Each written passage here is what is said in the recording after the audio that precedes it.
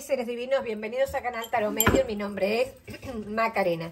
Muy bien, amores de mi corazón, vamos a comenzar una lectura nueva para ti, una lectura práctica, la anterior fue muy fuerte, necesito cortar la energía con la lectura anterior que grabé, eso, por eso lo hago lo de la campana, ¿no? La campana corta y abre un nuevo portal, una nueva mensaje, un nuevo comienzo una nueva cuestión. Va campana, para los nuevos les digo bienvenidos al canal, mi nombre es Macarena, creo que ya lo había dicho porque lo digo forma, es lo único que digo forma automática, ¿eh? Bienvenidos al canal, bienvenidos no sé qué, lo digo de forma automática una vez que prendo la cámara. Eh, bueno, como decía, la campana, ser divino, es una energía de alta frecuencia, lo digo para los que no conocen el canal, si lo que están en la comunidad disculpen, ¿sí? Porque a veces tengo que volver a decir, porque si no, imagínense que llega alguien desconocido que no entiende, que no ve, que no sabe, y yo por lo menos me, asustaría, ¿sí? Si me asustaría con una persona que empieza con una campana ahí a todo trapo, digo, yo saldría volando, digo, esta loca, ¿qué, qué bicho le picó? Por eso lo explico, porque yo me veo en el otro. Empatía se llama, de divino. Entonces, expliquemos. La campana es una energía que utilizo de forma fue sin querer, un día X no sabía cómo cortar la energía de las grabaciones, la campana estaba en mi altar, soy medium, ¿sí? trabajo con entidades, la campana es una energía de, de alcanzar, de llamar, de, de, decir, estamos aquí, de, unificar las energías, de muchas cosas, seres divinos. Eh, si te gusta la campana, cómprate una. Eh, o presta atención a las campanas de la iglesia. ¿Por qué será que las iglesias tocan la campana siempre a la misma hora. Investiga eso. Va campana, seres divinos.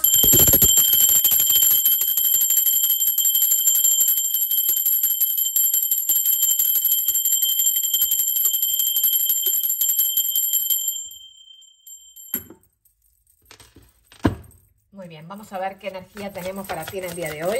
Energía para mi ser divino, por favor. Para mí siempre la primera carta juicio. ¡Wow! Servinos. ¿Qué? El juicio, siete de bastos.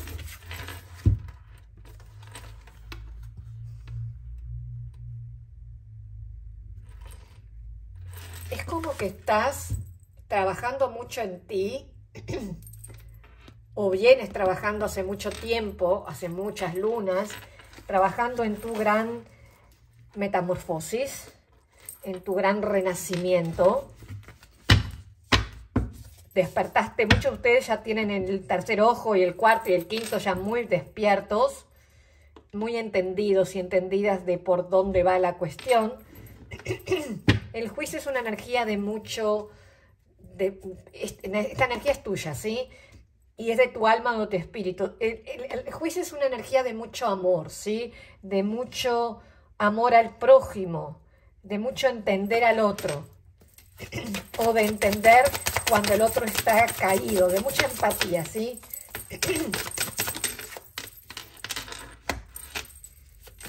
Clarifícame esa carta. Clarifícame la transigencia. La carta del estrés.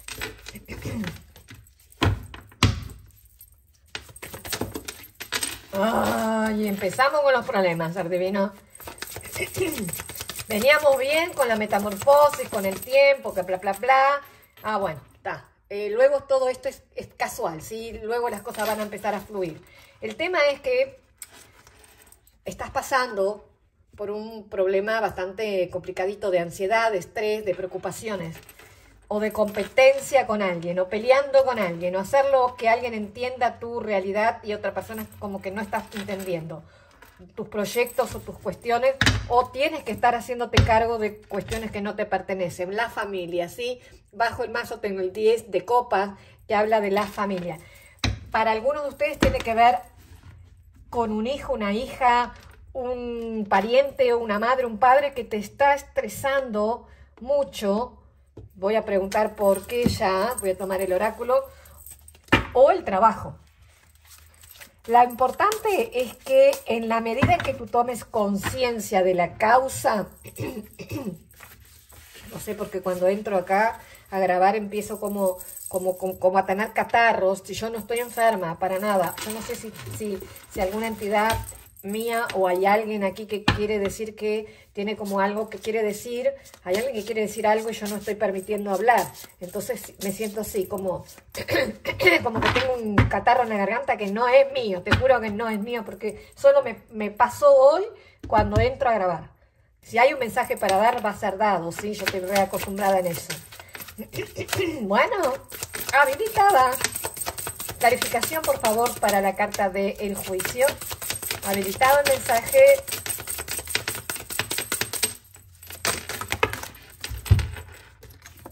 Para la carta del juicio salieron muchas energías. Rey de oros, el 6 de copas y el 3 de bastos.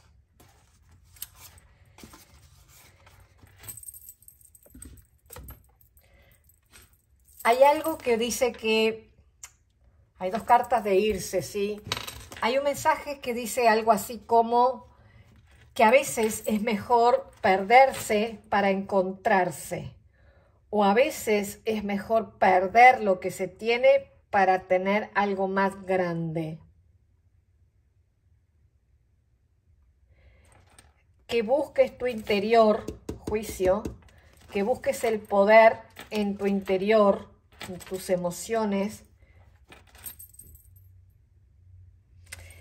es como que una persona que apagó la mirada hacia la afuera. Estás como necesitando interiorizarte de tus propios problemas o propios...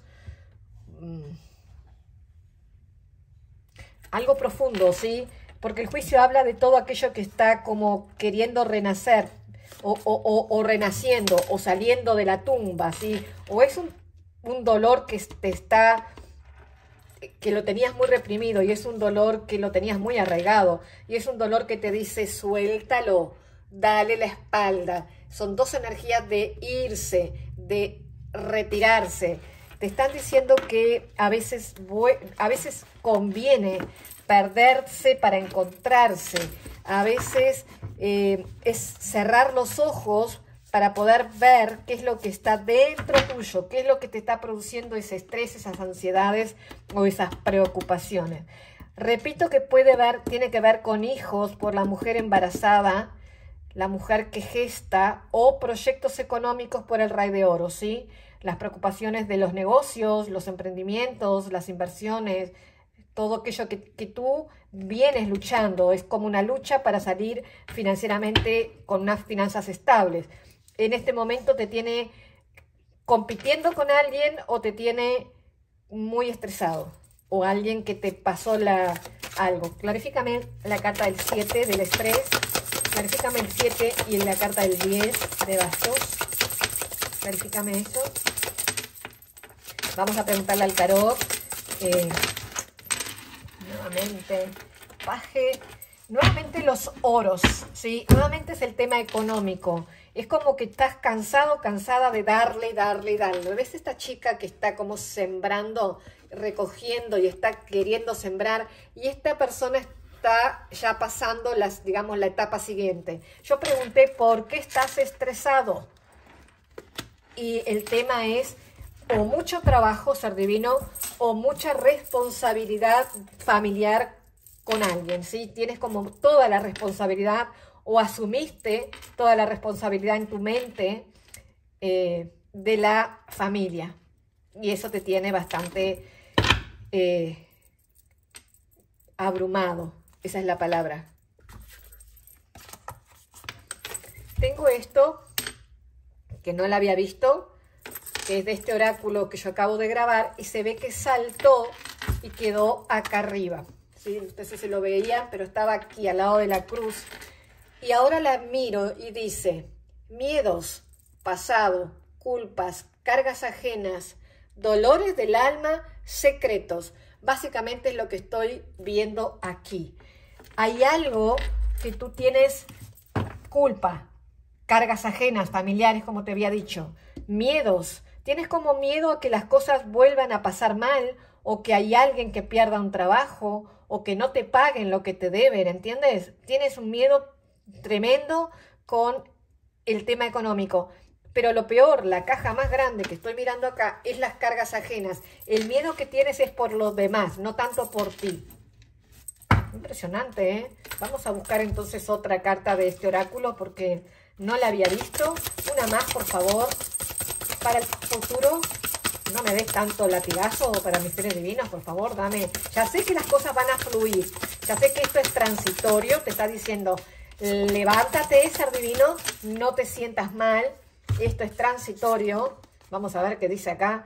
Cerrá los ojos para poder encontrarte. La frase que acabo de decirte. No, no, increíble. No, no, la espiritualidad a mí me sigue sorprendiendo día a día. Por eso me gusta tanto trabajar con ustedes. Yo creo que te dije que tenías que cerrar. Voy, escuchan el audio de nuevo, pero creo que dije cerrar los ojos para poder encontrarte o ser o, o, o perderte para volver a encontrar. Eso te lo dije, ser divino. Ustedes se dan cuenta que salta, ¿verdad? Saben que yo no estoy poniendo cartas escondidas o qué sé yo. Acá, por eso lo pongo para que ustedes vean que salta. Se hace, se hace pesado, ay, medio, se hace pesado seguir cargando con cosas que nunca fueron nuestras. Estoy como en shock. Me imagino cómo estarás tú. Mira esta chica con toda la responsabilidad de, cargar todos esos libros. Mira la cara de tristeza que tiene esta chica. Se hace pesado seguir cargando con cosas que nunca fueron nuestras. Eso es esto. Es esto. Básicamente es la responsabilidad que te deja en un, en un cuadrado, no te deja salir, si estás como eh, sin salida sobre un tema financiero o cargas de que no te corresponden. ¡Wow! Así estoy. Estoy así. ¡Wow!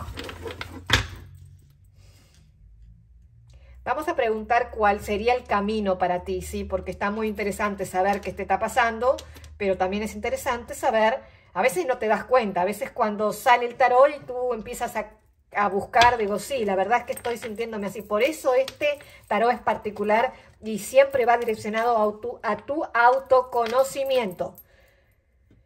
Ah. Me hacen sufrir, seres divinos, ¿eh? Nueve de oros. Festejo. Bien, pase lo que pase, tú vas a estar sobreabundante. El 9 de oro es la única carta en el tarot que me habla de la felicidad en la abundancia y en la riqueza y en la fortuna. También habla de la soltería. No pregunté sobre eso, pregunté sobre cómo iba a estar tu futuro, pregunté cómo iba a venir tu futuro y vuelve a salir Pentáculos y la carta mejor que tiene que ver con las finanzas.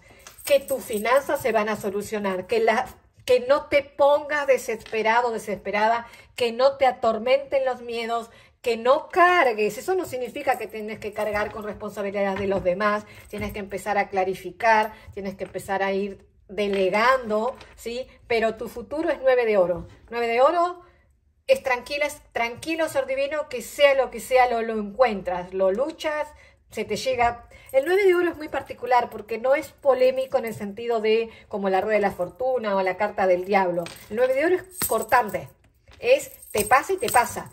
Ah, yo cuando hago una lectura privada, que no estoy haciendo en este momento, lo está haciendo mi hija, si quieres, busca abajo en la casillita de extensión. Cuando yo pregunto qué va a pasar con esta persona y me sale un 9 de oro finalizando, me, le digo, calma, que sea por el camino que sea, porque a veces las tarotistas podemos ver, pero no podemos interpretar al 100%. Pero sí te puedo decir, en esa lectura privada, que sería el caso, tranquilízate, porque por, alguna, por algún lugar el universo te va a traer una oportunidad en la que tú vas a poder soltar estas culpas, esos miedos, ese pasado y esas cargas ajenas, porque el 9 de oros es maravilloso, es la energía que, ¿qué te cuento? La reina de oros bajo el mazo. Ya ni pregunto más porque esta vergüenza me entró. Vergüenza. Reina de oro bajo el mazo.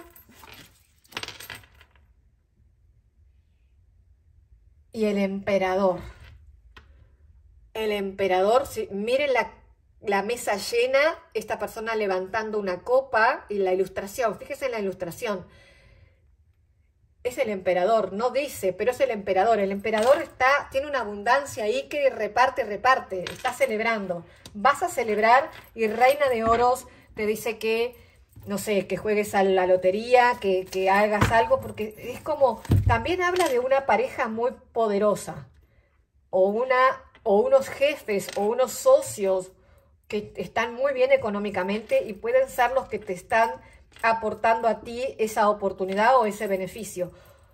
O tu padre o tu madre, ¿sí? Porque el, el, emperador siempre habla del padre y la reina de oros aquí estaría siendo tu mamá, si es que la tienes. Si no los tienes en vida, ¿te acuerdas aquel tema que cuando empecé tu lectura que tenía como la garganta que no sabía que tengo? Bueno, el mensaje es desde el más allá, a pesar de que no tengo el tarot acá, el oráculo de las lecturas del más allá, el mensaje es levántate porque tienes dos ángeles que te van a traer una abundancia súper impresionante, ¿sí?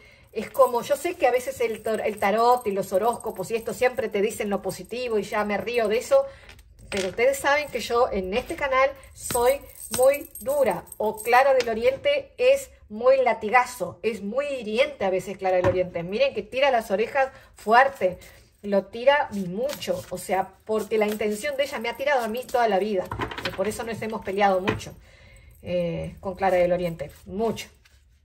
Me hicieron acordar que cuando estaba en la iglesia evangélica, que estuve 20 años, eh, yo les decía que tenía una gitana a mi lado y me decían que era un demonio, un demonio que me estaba tentando para que yo saliera de mí, de mí eh, para que yo pecara. Bueno, nada más, eh, nada más opuesto, ¿sí? Nada más opuesto. Gracias a Dios o gracias a Clara y a mis, a mis guías que no me rendí nunca y seguí buscando quién era eh, Clara del Oriente y Miguel del Oriente, ¿sí? Que eran los que veía desde chiquita. Bien, si te interesan estos casos o estos temas o estas historias, busca en casillita de descripción o simplemente busca los videos conversando con una medium y ahí me vas a ver de frente. Seguimos, ser divino, seguimos con tu lectura. Vamos a preguntar ahora por tu personita de interés, porque vamos a cortar un poco. Si vamos a cortar, vamos a cortar acá. Eh, vamos a empezar con el romance. Ya apareció, ¿eh? Ya apareció. Uf, un caballero de basto, un paje de espadas. Hay alguien que te está observando mucho por redes sociales. Si eres soltero o soltero, si eres soltero o soltero, soltera o soltera, o estás esperando un nuevo amor, no importa si, si estás casado o casado, divorciado, no me interesa, si no interesa. Acá dice, llega una persona y llega acelerada, esa persona ya te conoce o te conoce por redes o te observa mucho por redes y es un comienzo nuevo, unas de copas. Acá viene una persona nueva, si es lo que quieres saber. Y si me dice, sí, pero no conozco a nadie, Maca, no salgo, no sirven para nada los que, porque me ponen, les digo eso porque me escriben, ¿sí? Bueno, aquí aparece como una, como unas de copas y una persona que viene con intenciones interesantes, porque el basto es una persona que está motivada, está una persona que quiere comenzar algo nuevo contigo. Desde ahí eres cada uno de ustedes son lo que construyen, lo que quieren construir, pero que la energía está, está, está. Clarifícame, por favor, en las de copas, cuáles son las intenciones de esta de esa persona de tu interés, ¿sí? Con ese as de copas. Clarifícame las de copas, cuáles son las intenciones, aunque las de copas es muy claro, intenciones. Nueve de bastos. Wow, esta persona no va, no va a dejar de pelear por ti, ¿sí? El nueve de bastos habla del último soldado en pie y el sol. Esta persona tiene toda la intención de buscarte, de, de contarte, de hablarte. No le importa todos los portazos que le hayas dado o todos los negativos que hayas estado. Esta persona viene a traerte luz a tu vida, a traerte felicidad con el sol. Pregunté cuáles eran las intenciones de esa persona. No piensa abandonar el barco. Esta persona no se piensa ir a ningún lado. Eso es importante. Voy a preguntar algo diferente. ¿Cómo construyen ustedes ese sol? ¿Sí? Porque las relaciones mm, románticas o relaciones mm, de amistad o lo que sea, tú lo aplicas, ese tipo de relaciones son un poco complicadas de construirlas, ¿sí? Clarifícame, por favor, cómo construir, cómo mi ser divino construye esas relaciones bonitas. Dos de pentáculos. Sin las dudas, ¿sí? Que no tengas dudas. ¡Wow! Disculpa, adivino, es que me estoy riendo porque es muy fuerte. Voy a tapar así porque este diablo está muy degenerado, muy... Eh, mi hija le puso, lo, lo, lo, vistió a este diablo porque lo voy a poner así porque no va a pasar nada porque está todo cubierto. Pero miren lo que es eso. Miren lo que es... ¿Qué fue lo que pregunté, Sardino, que me olvidé? ¡Ay, sí! Ya me acordé cómo debes construir esa felicidad. Bueno, con mucha pasión, sin, sin dudar y con mucha fogosidad. sin ser tóxica, sin ser muy intenso, porque el diablo puede llegar a ser muy intenso, sin tener la, la, la, cuestión tóxica de una persona que no suelta y que no, y que no, que no, que no para de, pensar en las relaciones carnales. Y hay una persona acá que no para de pensar en el sexo, en relaciones íntimas. La torre, seres divinos, la torre. Clarifícame la torre, por favor, que aquí, aquí no entendí. Aquí hay algo que se debe, hay algo que se va a derrumbarse. Ok, me dicen que es algo que se va a derrumbar. Generalmente son conceptos, ¿sí? son formas de pensar o formas de ver al otro. ¿Qué es lo que se derrumba con la torre, por favor? Rey de bastos las manipulaciones, las estoy buscando la parte negativa de la torre, ¿sí? ¿Qué es lo que se derrumba? El loco, las relaciones sin compromisos, las relaciones solamente basadas en lo carnal. El loco es un aventurero, ¿sí? Se, rompen las aventuras. Aquí se tiene que pasar al compromiso directamente o a trabajar ese compromiso, ¿sí? esa torre ahí me, me, duele los ojos, ¿eh? Y aquí me salieron muchas espadas. Cuatro de espadas, dos de espadas y la carta del 5, 6, 7 de bastos. ¿No había salido el 7 de bastos? Sí, el 7 de bastos es el estrés el que te salió antes, es esto, el, tener que pelear por lo que querés, ¿sí? el tener que enfrentarte con alguien. Quiero decirte algo con respecto a esto. Si este, este es tu tema, tú estás parado arriba, las personas están abajo, no van a poder contigo. Son peleas ganadas, son batallas ganadas. Ahora, ten cuidado con esto. Ten cuidado con que tu mente te haga pensar que la batalla o la guerra o lo que sea que estás peleando aquí eh, no vale la pena lucharla, porque sí vale. Sí vale porque tengo cartas abajo que te habla de una reina de oro, de una cuestión que va a fluir de forma espontánea. Lo que pasa es que en la medida en que tú empiezas a, ¿cómo te explico? A vibrar con una actitud hacia un determinado objetivo, las cosas comienzan a fluir. Mientras tú estás en, en el 2 de espada, en el 4 de espada, que estás con la mente como es como que quieres ir por el lado A y el mundo o el universo te quiere que vos mires para el lado B. pero tú estás enfrascado, estás muy em, decidido, decidida a ir por el lado A. Y quizá no es el lado A. Cuando tú abres la posibilidad del lado B, ahí las cosas fluyen. Eso es lo que está dando el mensaje clarito en ese aspecto.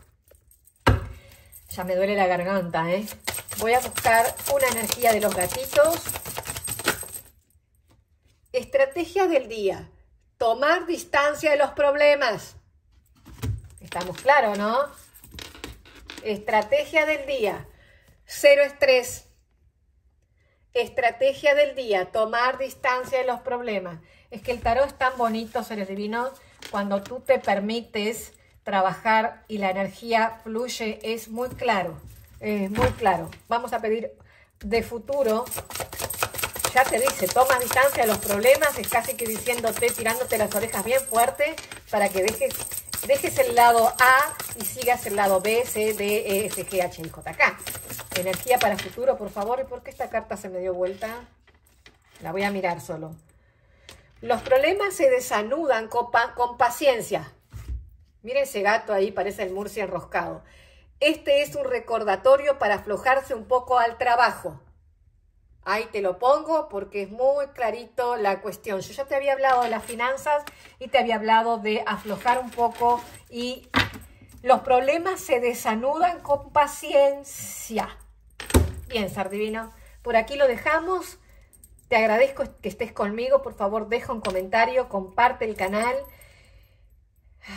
Estoy enloquecida con tu lectura, ¿eh? Fue muy fuerte. Ahora sí, namaste para ti.